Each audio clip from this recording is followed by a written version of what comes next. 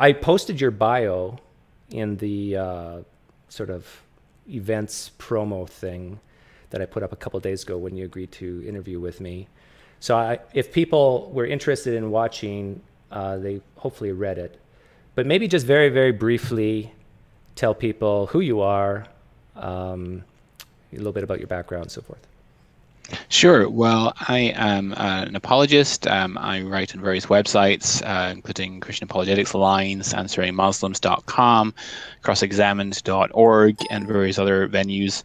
I'm the founder of the Apologetics Academy, the website being apologetics-academy.org, and basically I run a weekly online apologetics webinar every Saturday. Uh, 8 p.m. here in the UK or 3 p.m. Eastern Time, um, where I bring on different scholars, experts, scientists, philosophers from across the theological spectrum, and I give them up to an hour to present um, their arguments relating to the truth of the, of the Christian worldview. We also discuss other issues such as social issues that are of interest to Christians and so on. And uh, so I've brought on many leading Christian thinkers and also many of the leading atheist thinkers as well, and also some Muslim thinkers and people of other faith perspectives. Um, my academic training is in biology. I have a bachelor's degree with honors in forensic biology.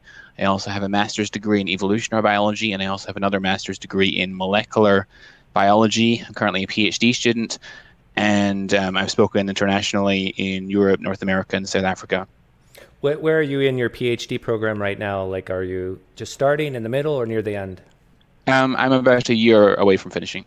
Okay. So you going crazy? You going nuts with the dissertation writing and all that? Yeah, I'm still gathering data. I'm, I'm, i do bioinformatics at the moment. So, is your the title of your dissertation less than ten words? I haven't. Uh, ha- I haven't got a full title yet. I, I haven't formulated what the actual final title is going to be at this point. But okay. Yeah. Okay, and how much uh, uh, do you know about me?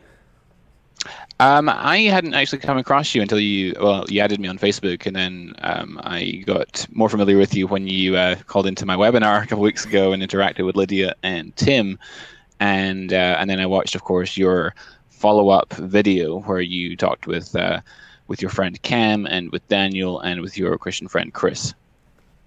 Yeah. Um, so just to let you know a little bit about myself, born and raised in a log cabin in Canada. Um, and let's see, how much did I say? I was raised in the Mennonite culture. Are you familiar with Mennonites? I'm I'm familiar. Yeah. Okay. So very conservative Christian culture. Uh, kind of left that when I was 15. Um, but I would consider myself a Christian, uh, Protestant, evangelical Christian, all my life, uh, from Mennonite to spent like two or three years in a Pentecostal church, but mostly because that's where my wife now um, uh, was going to church at the time. Been in many different types of denominations, from seeker sensitive, you know, those guys who just want to get people into the pews and play this rock and roll music, and uh, to Baptist, to um, non denominational. My final pit stop was in the Presbyterian hardcore Calvinist church uh, in my early 30s and uh, not to poo-poo on the Calvinists and the Presbyterians too much, but that was my last stop. And uh, um, probably in my mid 30s, started embracing doubt and uh, viewing myself in the third person, uh, asking myself, why do I really believe what I believe? Uh, by my 40ish, I would say I was a deist. Thought, oh, you know, something can't come from nothing. There has to be a God out there. But I, am not a Christian anymore. But you know, I still believed in some type of deity. Uh, but then by my early 40s, I said, you know what? I really don't have good reasons to believe that there is a deity out there. Um, so I call myself an atheist now, but that word means different things to different people. What I mean when I say I'm an atheist is that I don't live my life like there is a God of any sort or gods. Um, and I don't say that there can't be one or that there is no God out there. I just say that I don't believe there is, and um, and I don't live my life like there is. Mm-hmm. Not to say I live a life of chicanery and debauchery, but. um, so we first met when you posted something about my friend Reed's video You know? Oh, okay. Who read it? Yeah, yeah I, I know the video you mean. Yeah. Yeah, that's how I first uh, saw you, or, or was introduced to you. And and I remember reading a comment that you wrote that said something about how disappointed you were in um, the Christian youth today. Mm-hmm. Is that mm-hmm. accurate? That's correct. And um, and then I saw a few more comments like that when you responded to some of Anthony Magnabosco's videos. Mm-hmm. And it seems like you were saying that there needs to be more of a, a true good apologetics to equip the young people, the, the Christian young people. And so I was going to ask your permission to do something. Mm-hmm. And feel free to say no to it, but um, would you like to demonstrate how you would answer questions like from an Anthony Magnabosco or from a Reed. Like I'm not a strict SE type guy. I, I, don't if you've watched any of my videos. I'm more of a conversational dialogue type guy. But I'm willing to do strict SE with you if you're willing. Sure, absolutely. Go ahead. Okay. And I'm going to do it exactly like well not exactly, but I'm going to try to do it like Anthony and Reed do it do it by even putting up a a clock here. and they usually go five minutes, but um, let's go 10 because, hey, we got time. so we already know what you believe, but you're, you're a Christian and you believe that Jesus Christ rose from the dead. Mm-hmm. Can I get a sense of your confidence? And since you're from the UK, I'll do it in terms of stone, from zero stone to 100 stone. How confident are you that the core proposition of Christianity, the main one that Jesus bodily rose from the dead and is the God in flesh, how confident are you that that's actually true? Okay, would you be prepared first to calibrate your scale? Say, what would be yes. your degree of confidence that, say, Abraham Lincoln existed as an historical figure on a scale of 0 to 100? So I'll answer this way. I'll say, okay, I am confident um, that I'm I'm 99.9999% confident when I drop this pen, it will fall. So let's use that as as the sense of confidence compared to a pen falling. How confident mm-hmm. are you that your belief that Jesus rose from the dead is actually true? I would say um, in the order of 99%. 99%. Okay. Yeah. So, so that's you're leaving yourself a little bit of wiggle room, but you're pretty confident. Yeah. So my next question would be what would you say is the primary reason why your confidence is so high? Sure.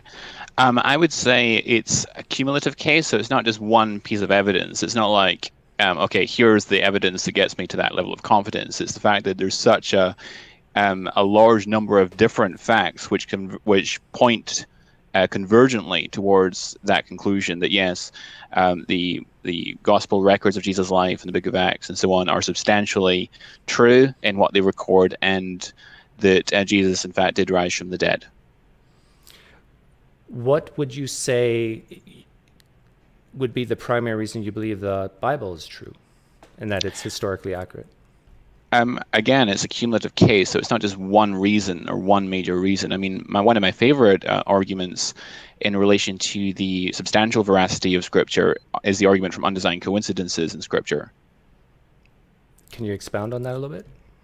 Sure. Well, an undesigned coincidence is, uh, at least the classical form of an undesigned coincidence, is when you have two or more historical accounts which uh, recount an event and they interlock in a way that's unexpected if one is copying from the other, or if both are copying from a common source, or if the story is simply being made up. So I can give examples if you wish.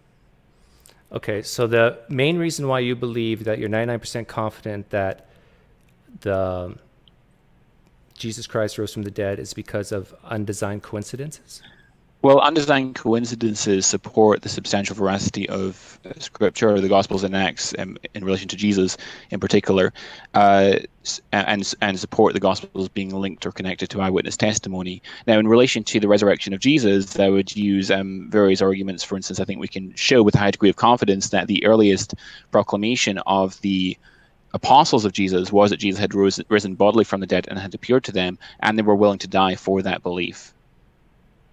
Okay, so if you saw, so the reason why you're uh, highly confident is because eyewitness testimony and that people were willing to die for a belief. Am I hearing you correctly? That these will be among the among the strong reasons. Yeah. Okay. So if this is outsider test of faith, if if someone claimed that they saw someone else rise from the dead and that this person claimed to be a god and were willing to die for that belief, would that make that belief true? You need to give me a lot more details on the particular circumstances. So, um, in this case, in the case of, re- of, the resurrection of Jesus, we have uh, the fact that uh, we can show with a high degree of confidence that Jesus' original apostles claimed that Jesus had risen and had appeared bodily, physically with, that, with um, to them, that the resurrection appearances are polymodal in character. That is to say, that they involve not just sight, but also conversation, group conversation, uh, physical contact, uh, eating with, and so on, um, touching, um, and um, and and uh, they were so confident that Jesus had risen from the dead in that way and had appeared to them in, the, in that polymodal fashion that they were willing to die for that belief, which evidences that they were at least sincere in that belief. And then the next question is okay, so how did they come to sincerely believe that? And in the case of the resurrection of Jesus, I think the best explanation is the truth of the resurrection hypothesis. The best explanation. Okay. Correct. So, how would you know if you were wrong that that was maybe not the best explanation? Is there any way that you could figure out if you were mistaken with this belief? Okay, uh, let me uh, just uh, to get some clarity on the question. Let me ask you uh, this: What, what, how would you know whether you were wrong about the existence of Abraham Jonathan? Lincoln? I'm Jonathan. I'm asking you the questions. You can ask me when we're done. Right. The ten minutes. Okay, because the because the, the, reason I would ask that question is because um, you know the whole work the, the whole body of evidence in the case of say Abraham Lincoln's existence would have to be very very radically different in order for me to be convinced that Abraham Lincoln in fact did not exist. And in the case of say the resurrection of Jesus or the substantial ver- veracity of the gospel accounts and so on, the the whole um, array of evidence would have to be so radically different if that was the case that it's not really a hypothesis that I seriously entertain. Okay, well, let's use Abraham Lincoln then. Um, would you be 99% confident that Abraham Lincoln was God in flesh who and rose from the dead if historical records said so? Uh, not necessarily. We need to go into the nature of those historical records and the nature of the evidence, the particular circumstances, and so on. So, I mean, there, there's other, there's other um, examples of radical claims in history. Um, I mean, I, I, don't believe that Muhammad was a prophet just because certain historical records say so. Um, so, okay, so you don't believe that historical records are aren't always true. Why do you why do you believe that in the case of the Gospels that even the claims that they saw a risen Jesus is true? Why do you believe that? I believe it's the best explanation given the particulars of the case in this particular instance. But why do you believe that even the particulars of the case are what they say they are? Uh, because I've looked carefully at the evidence for that. So if someone else looks at the evidence that Mormonism is true and is convinced that that's true, how would they know that they're mistaken?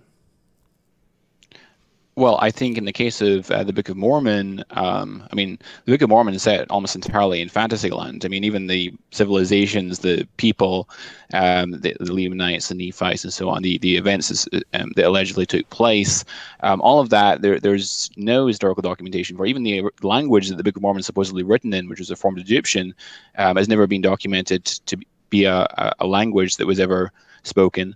Um, I mean, there's evidence that the um, the Native Americans are not descended from the Hebrews, but are in fact descended from from the Asians.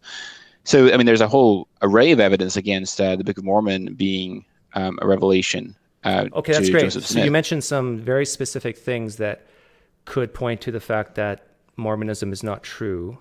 Could you point to anything in your belief that you could possibly see to to lower your confidence that Jesus maybe didn't rise from the dead? In principle, uh, yes. Um, if we didn't have all the evidence we have, then that would certainly lower my confidence significantly that Jesus rose from the dead. Yeah. Is there any evidence that you could possibly see in the future that would change your mind? Uh, in principle, um, uh, for instance, uh, um, if you could show that if Jesus never existed, if there was good evidence Jesus never existed, which I think could in principle be shown, of course that would significantly lower my confidence uh, in the truth of Christianity. In fact, it would it would refute Christianity if that was the case, or if um, if say the thesis of um, Zeitgeist movie, which was, um, which as you know, is a, a very um, ridiculous um, claim that Jesus is an amalgamation of mythical characters. If that had merit to it, then that would lower my confidence significantly. Or um, yeah, there, there's quite a number of ways that you could use to to lower my confidence. Yeah. Is there any? So far, I, I, when I asked you why you believe what you believe, what's the primary reason you you pointed to historical documents. Is there any other reasons that give you high confidence, like something today um, that you either experience or see that give you gives you a high degree of confidence? It's primarily looking at the historical data and evidence that convinces me. I mean, people of different religious traditions claim personal, subjective spiritual experience, and I like to measure or um, spiritual or personal experiences against the objective evidence, which is done by looking at um, the historiographical record. Okay, so you would not say that you know experiencing the love of Jesus or anything on a daily basis is not the reason for your confidence. The reason for my confidence is looking at the historical evidence. Okay, very good. Okay, so we got 16 seconds left. We'll stop there because that's a good spot to, to stop. Okay, so I just want to recap. So I asked you what you believed, and it's basically that Jesus rose from the dead in bodily form. I asked you uh, how confident you were. You said 99%. And then I asked you, why do you believe? And you said it was um, a combination of many things. But when I try to narrow you in. You said eyewitness testimony and um, martyrdom, basically. Um, I asked what would change your mind, and I think you said nothing. Am I right? I actually I gave I gave several examples which in principle would lower my confidence. That refresh my memory. So I said, for instance, if there were good arguments that Jesus didn't exist, that would certainly um, not okay, just reduce yes, my confidence, but refute Christianity. Um, or if you could show convincingly that Jesus is an amalgamation of mythical characters, like some people have tried to argue unconvincingly, then that would significantly lower my confidence. Or even if you if you could demonstrate um, that Jesus' body is still in the tomb, although I think it would be very difficult to actually get right, right. compelling evidence for that. But if you could show that, that would that would refute Christianity. Okay, yeah. The, the reason why I didn't remember the Jesus existed part because because um, even if he did exist, that doesn't necessarily mean he rose from the dead in bodily form. Right, but if but, but if he didn't but if he didn't exist, that means he didn't, of course, rise from the dead. Right? yeah, yeah. Okay, very good. So how did that feel?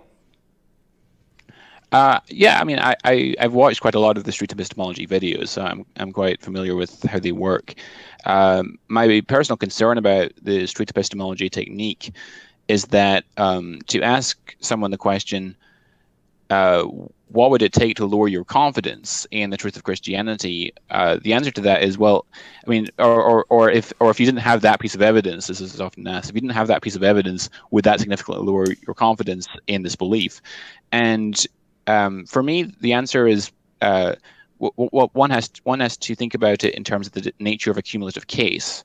So a cumulative case is where you have lots of different elements of evidence which all converge on this conclusion. And so if we were to remove one piece of evidence, that wouldn't significantly reduce my confidence. So we know that the Earth is 4.6 billion years old because of a huge array of different lines of evidence. Now, if one of those evidences turned out not actually to be as convincing as we thought it was, that wouldn't significantly reduce my confidence in the age of the Earth because there'd still be a lot of other evidence. Um, yeah, so that's I, I hear what you're saying, Jonathan. Um, yeah. But I guess for a guy like me, the question is, are each of those individual evidences a reliable way of coming to knowledge?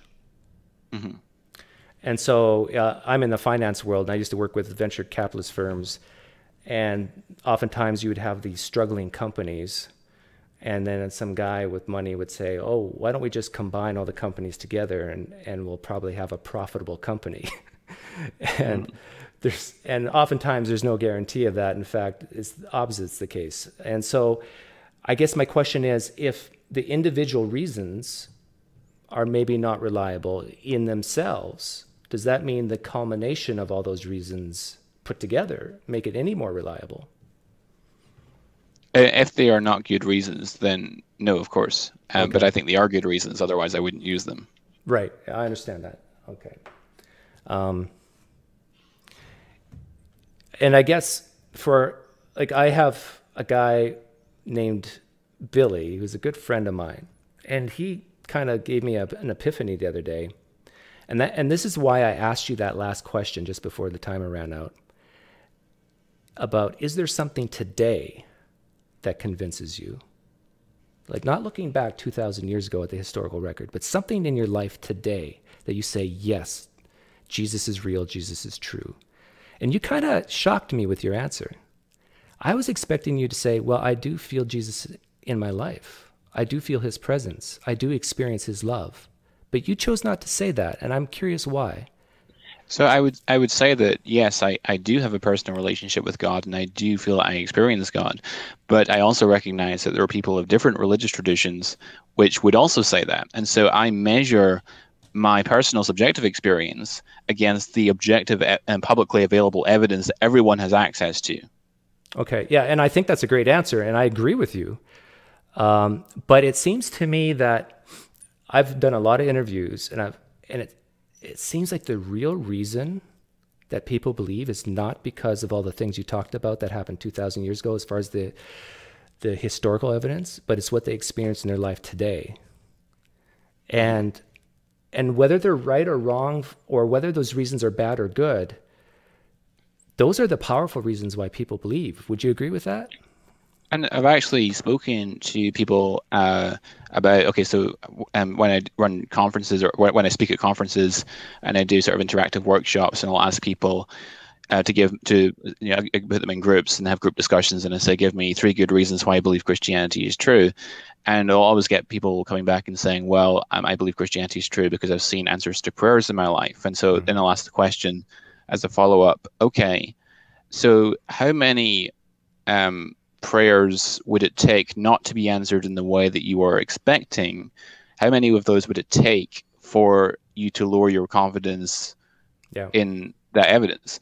Um, and for me, that th- and because it's very difficult to actually um, get a handle on all the different um, parameters that, that are involved in whether God is going to answer prayers or not, I think it's very difficult to actually make an argument from that. So I I, w- I wouldn't ever base an argument on answers to prayers because um, people pray things and it doesn't happen the way that they are expecting or wanting. Well, the, it, I agree with everything you just said. But the reason why I ask this question is because I'm wondering if you're giving the answers you're giving to me because you know they're the most defensible, but maybe they're not actually true of why you personally, Jonathan McLatchie, believe what you believe. Because, and here's, and I could be totally wrong with what I'm saying, but here's why I'm saying it because I've talked to a lot of people in the past, well, most of my life actually, and I ask them these questions, and they'll answer similarly to what you've answered, the mature ones at least, the mature Christians.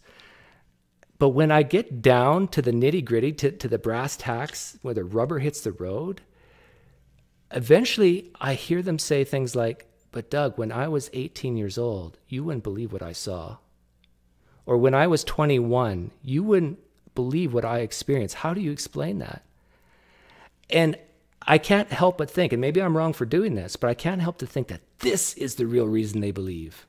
And it, right? Yeah, go ahead. So, so yeah, I think Christians, including myself, do see answers to prayers in our own lives, but and and I think it's quite plausible to interpret those to God, but not as evidence for the truth of Christianity. I think it only becomes plausible having already demonstrated on other grounds that Christianity is actually true. Yeah, I. But tell me if you agree with this. Like you, you sound like you have a similar background to me, uh, kind of like born and raised in a Christian home, right? Mm-hmm. Yeah, and you know can't really remember a time when you were not a Christian. And especially when you get into the ages of, I don't know, like late teens, you start asking the questions like, do I really like, am I just believing this because my parents did? You know, everybody kind of goes through that no matter what religion you're in. And then you do all the research and you read the apologetic books and so forth, and you realize, wow, I, you know, the core propositions of what I believe are true. Like, I've done the research, and um, It's not just because of the way I was raised. And I see this in every religion as well, where people, young people, go through this this struggle. I've talked to a lot of Muslims who will say the same thing. I wasn't a serious Muslim, but in my late teens, I did the research, and man, you wouldn't believe the evidence there is for the Quran. It's just mind blowing. And they'll talk like this. And so the question I have for you is do you think that, or how do we, if, if you and I both value truth, how do we get rid or control for this inherent bias within us, no matter what background you come from?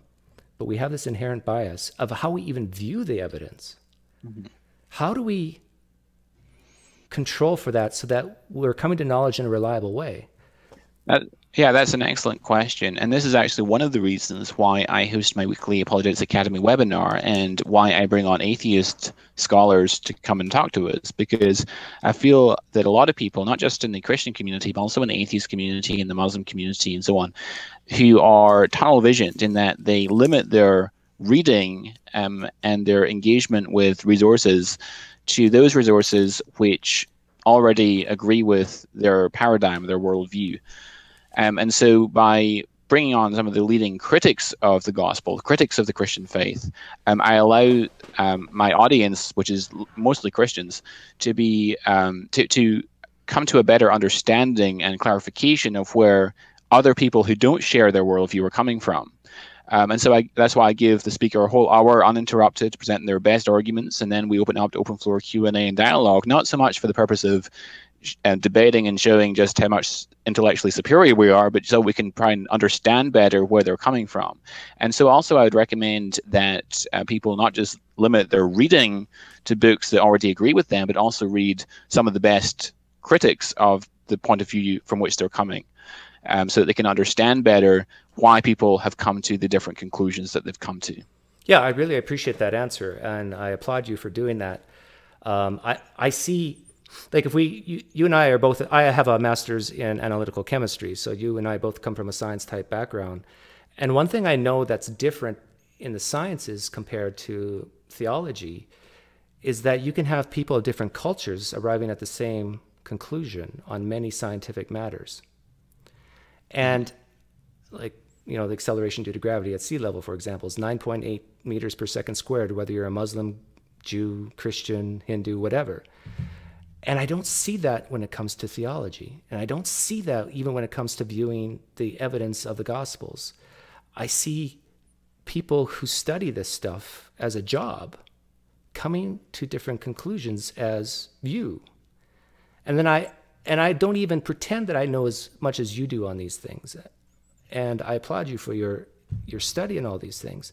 But as a layperson who does value truth and I see these honest, sincere, uh, conscientious people doing the best they can, looking at the evidence, and coming up with different conclusions, I have to say to myself, maybe I should lower my confidence that this is true. Do you see what I'm saying? Um, I don't think the fact that people can come to different conclusions in any way has any bearing on whether or not the stuff is true. So, um, I in, in, any case, even even if a consensus is reached, and uh, I think I can point to examples where a consensus has been reached in science or in biblical scholarship or have you, and the reasons for that consensus being reached are not at all well founded, um, and in fact there are good reasons to reject the consensus view. Um, so simply the fact that there's disagreement doesn't mean that it's not uh, something which we can study and actually come to a very well informed and rationally warranted opinion on. Yeah, I agree with that, and I agree that sometimes the consensus is wrong.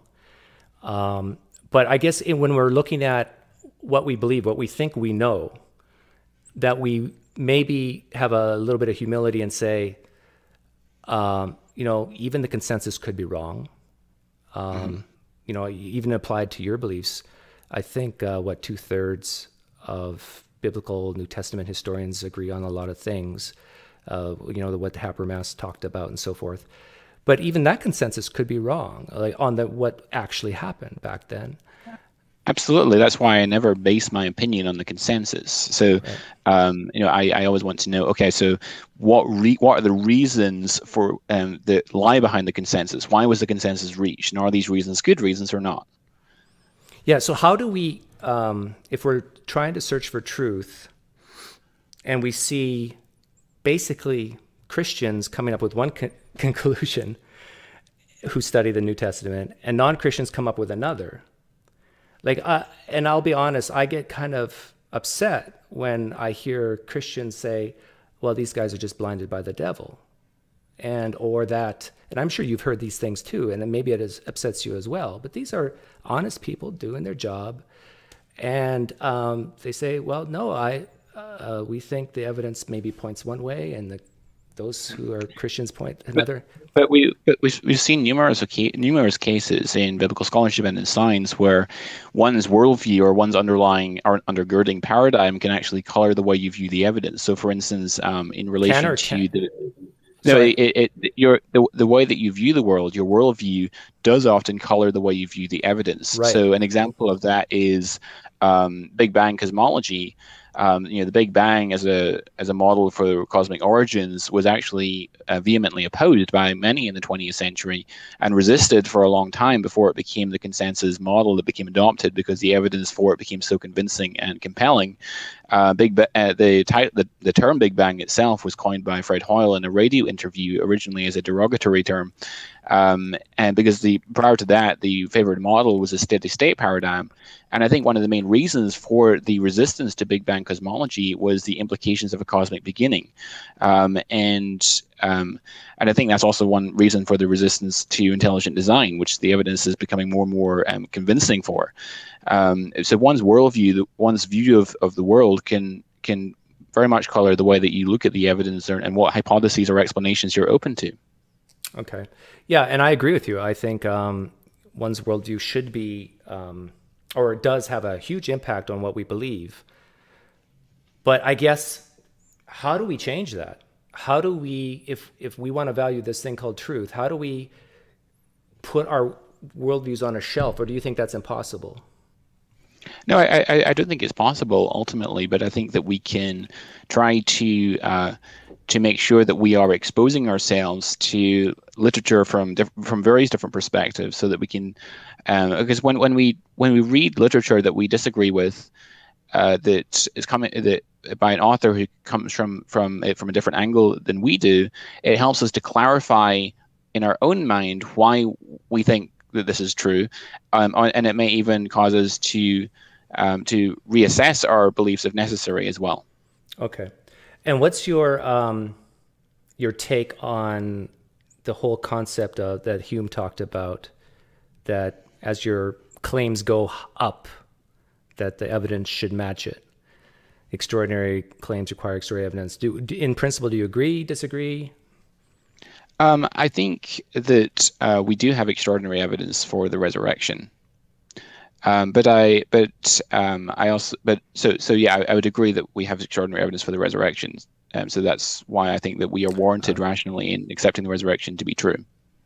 But but it, again, it depends on what you mean by extraordinary evidence. Yeah, I think we have very very strong evidence for the resurrection, but what you mean by extraordinary evidence is going to be subjective to the individual.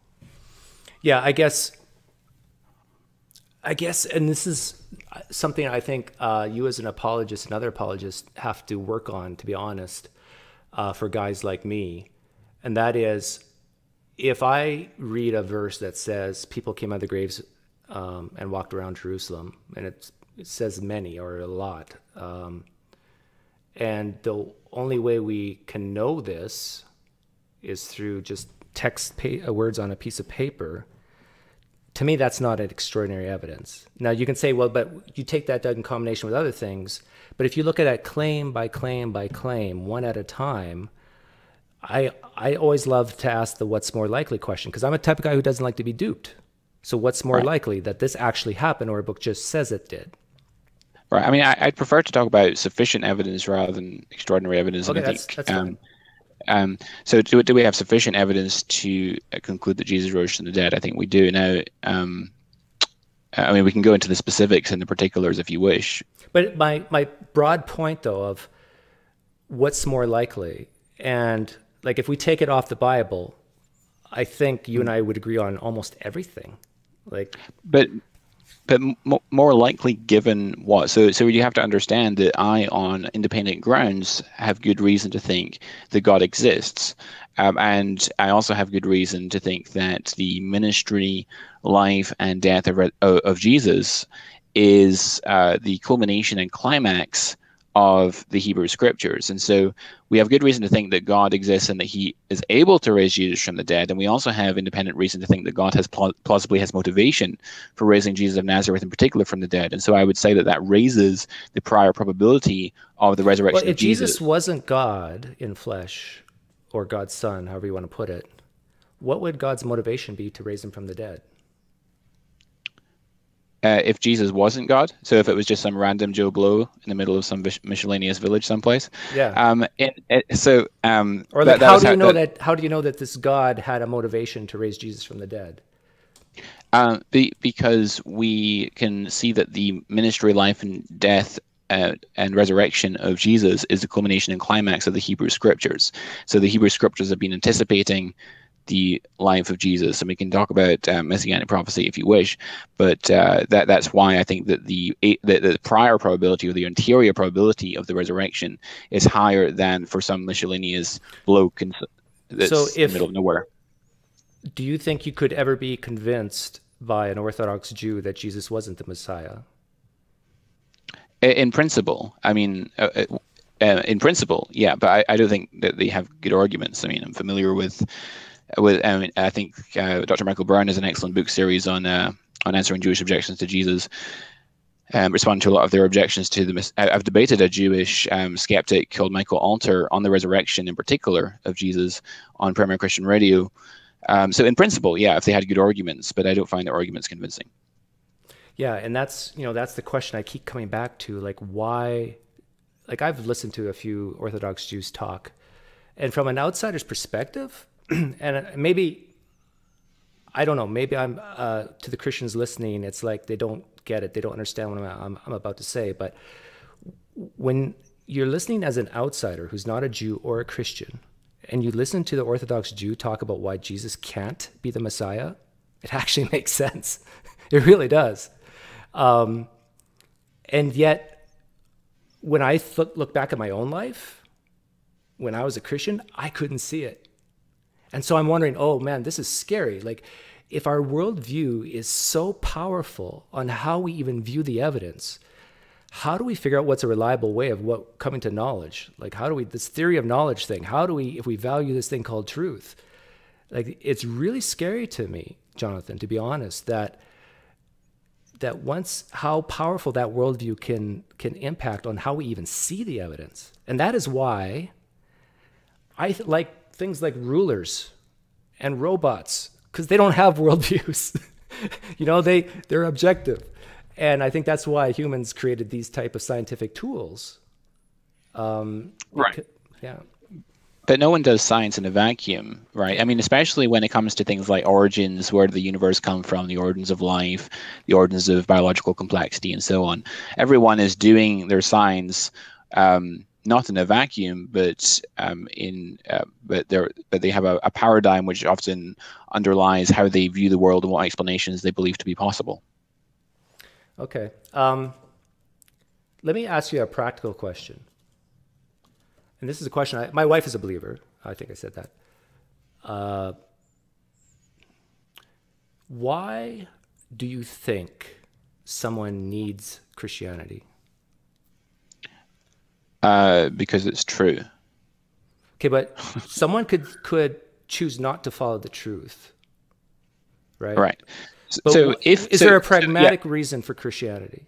So everything hinges on it being true. I mean, C.S. Lewis in Mere Christianity um, famously said that Christianity is a religion which, if false, is of no importance, and if true, of infinite importance. The one thing it cannot be is moderately important. So everything hinges on it being true, and its truth that um, hinges on the resurrection. Of course, if Jesus rose from the dead bodily, then Christianity is true. If he did not rise from the dead, Christianity is false.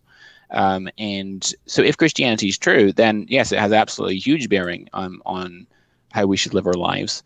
Um, because the, the, because the message of the gospel is that God is holy, and we've sinned and we've fallen short of a holy God, and and God demonstrating His own love for us in the person of Christ, who died on the cross for us.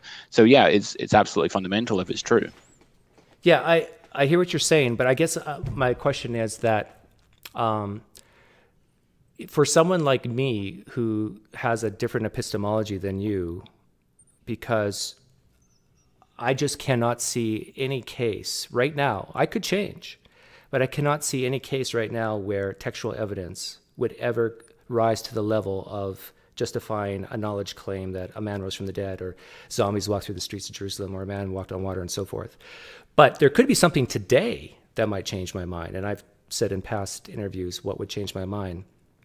Um, but um, how how would you answer the person who say, "Okay, look, I struggle with believing that this is true. Can you give reasons why one should even attempt to even look into it? Or what are the benefits of Christianity? What are, like, for example, let's say Hinduism could be true. If someone doesn't have a need to study Hinduism, they would never even investigate it. They would, wouldn't care to.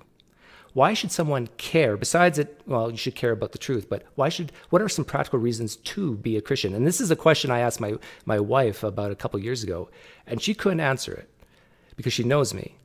And she knows that I'm, I don't have any, uh, you know, addictions. Well, nicotine gum, but um, uh, I don't have to pray to, to, to pay the electric bill. Uh, what is this ultimate need? I'm uh, content, happy in my life. Why do I need Christianity? Because we're sinners and because we've offended a holy God, and the just consequence of our sin is an eternity separated from the favorable presence of God. And it's only it's only by Christ that we can actually be saved, by by trusting in His completed work on the cross. Saved from what? Saved from an eternity separated from the favorable presence of God. And why is that bad? Um, because um, that's um, eternal judgment for our sin. But why is that judgment bad? Because it's eternity separated from God's favorable presence. In fact, not just that, but enduring the wrath of God for all eternity. I guess I'm getting to like, is are you saying that if you're not a Christian, a true Christian, that when you die you'll be in pain? Uh, yes, I believe in eternal conscious torment. Okay. This concept of pain for eternity, has that always existed? What do you mean by that? Like, I don't know, 10,000 years ago, um, mm-hmm. if I wasn't a Christian or a Jew and I died, is it the same answer? Like, I would be tormented in hell? Yeah, I, I think that that's the consequence of sin, yeah. If that concept of hell was removed from your theology. And there, there was no, let's say you're an nihilist or whatever, you know, you die and that's your soul's gone. What would you say then? Like, would there be any good reason to be a Christian? Because there's nothing, uh, there's no eternal judgment to be saved from then. Uh, but the whole message of the gospel is God demonstrating his love for us in Christ, who drank the cup of divine wrath on our behalf on the cross. So, uh, without the concept of God's judgment for sin, there is no gospel left. Ah, so actually, the belief of hell supersedes the belief in Jesus, because if there is no hell, then there's no need for Jesus. Is that correct? If, if there's no judgment for sin, then there is no purpose for Jesus to die on the cross. Correct. So the key to believing in Jesus is first to realize that there's this thing called hell or judgment first. Well, the um, the evidence for the reality of that is the truth of Jesus' self claims. So, um, so we demonstrate that Jesus actually rose from the dead, that the Gospels are substantially correct reports of Jesus' life, and then, since we have demonstrated Jesus' identity, then we can take seriously th- things that he says in relation to hell and so forth. Does the Old Testament talk about this concept of people suffering in hell for eternity? Not the New Testament, the Old uh, Testament. The Old Testament um, speaks about um, um, God's judgment um, for sin um, after death, yeah. So, um, I, and again, I, am asking honestly. You know more about this than me, but yeah. so do Orthodox Jews believe in this concept of eternal torment in hell for non-Jews? Um, um, I've not actually. I'm not actually aware of um, of that. I'm not familiar with the literature on that. Because my understanding was that the whole concept of hell only came around when Jesus did the concept of Jesus. Um, let me pull up some references that the good news of salvation was coincided with the bad news of hell. And in my mind, that's a push. oh, oh. Oh, you're back. I'm sorry, you were cutting out there. Can you say that again? I was just saying that the good, from my understanding, um, that the good news. Hello. Uh, you, I'm still here. Can you hear me?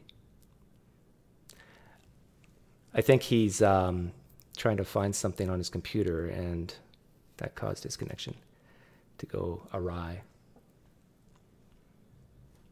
He'll be back. I'll message him. Uh, and yeah, you're back. I think when you did something on your computer, yeah, it, yeah, yeah, I wouldn't mess around with your computer because it seems like it, it Sorry, yeah, I was just looking up some um, um, Bible Gateway. Um, so yeah, so in the Old Testament, for example, in Daniel twelve two, you have um, many of those who sleep in the dust of the earth um, shall awake, some to everlasting life and some to shame and everlasting contempt. Um, and so there there is a concept of judgment after death in the Old Testament. Yeah, but that sounds a lot different. Like some will be awake, some will be dead. Like a uh, doesn't sound like you know either believe in this one Messiah or you are in hell for eternity. Right. The the I mean the Messiah hadn't been revealed in the Old Testament. I mean you've got prophecies anticipating the coming of the Messiah, but you have um, um, but so it's but the Old Testament saints were under a different covenant than the the one that we are under now. But does that, as a Christian, has that ever bothered you that that whole the good news of salvation necessarily coincided the bad news of hell, and it was almost like um, I know other religions had that a concept of hell before Christianity, uh, or a, yeah, maybe not before Judaism, but does it bother you at all that those two kind of entered the world at the same time? Did you ever go, huh, this is weird? What Christianity? No, no. Hell? The, the the concept of salvation necessarily came with the concept of hell. Did you ever puzzle about that? Like, why? Like, it really is not talked about it that much in the Old Testament, and then this concept of Jesus comes along of saving, saving from what? From hell. Oh, where'd this concept of hell come from? Well, that's you know that's where did the concept of hell come from? Uh, I'm not quite sure I understand the, the, the, question. So yeah, there's the doctrine of eternal salvation. Um, there's the doctrine of hell. Why is it strange that they come that that they're both in the Bible? Well, I guess, and this is a crude analogy, so forgive me, but to me, let's say you're not a Christian, you're an outsider, you're looking from the outside in. It almost sounds like a doctor walking around selling band aids but in order to sell the band aid, he cuts people first. The band aid is worth worthless unless there's something to fix. and right. it's and but the, but, but but the re, but the reason why um, our just deserts our eternity separated from the favorable presence of God is because of our sin. Um, so it's our doing that results in our need for salvation. Right, but I'm and I think there's Christians out there who don't believe in well, there's they, it runs the gamut on their version of hell, what they believe in. But um, even when I was a Christian, and, and when I look back now as a non-Christian at it, it was interesting to me that this concept of hell only showed its face in this way when Jesus came around. And I thought, whoa, that's kind of strange. Like we're talking about eternal torment here. Like, shouldn't there have been people back in the Old Testament saying, "Look, you need to you need to live this way, otherwise God is going to punish you not just here on this earth, but in the afterlife." And yet, you don't read about that. Like, other than maybe a few hints of it, like a Hades and so forth. But to me, as now looking back, I'm going, this is a red flag to me. It's like you're creating a need and the solution for that need. Do you see what I'm saying? No, there, there there's there's a concept of God's judgment in the Old Testament as well. Um, the and then the the whole Old Testament is looking forward in anticipation of the coming of Christ, which is the solution. But is there a concept of eternal judgment in a place called hell or Hades in the Old Testament? I just gave you the reference. I gave you a reference in Daniel 12, where it says, And many of those who sleep in the dust of the earth shall awake, some to everlasting life and some to shame and everlasting contempt. So that's, that's speaking of uh, the general resurrection at the end of the world, when some uh, uh, the, the, saints will awake to everlasting life, and those who are, who are not will awake to shame and everlasting contempt. That's in the Old Testament. And you're saying that the contempt means everlasting hell of pain and suffering on not yeah. on earth but somewhere else. Yeah, I mean, I don't, I don't know the nature of of um, that suffering. I don't know the nature of hell. We're not given a huge amount of information on it in Scripture, but it's certainly a place that we don't want to be. Yeah, I.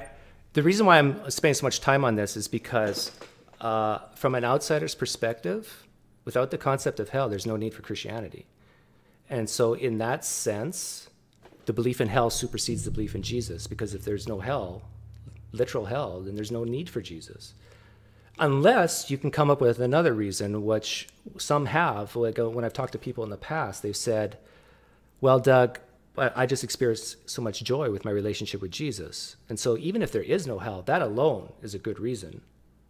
Do you agree with that? Right. I mean, the re- the reason why I'm a Christian, apart from the fact that it's true, is not um, fear of hell. Um, the pr- primary reason why I'm a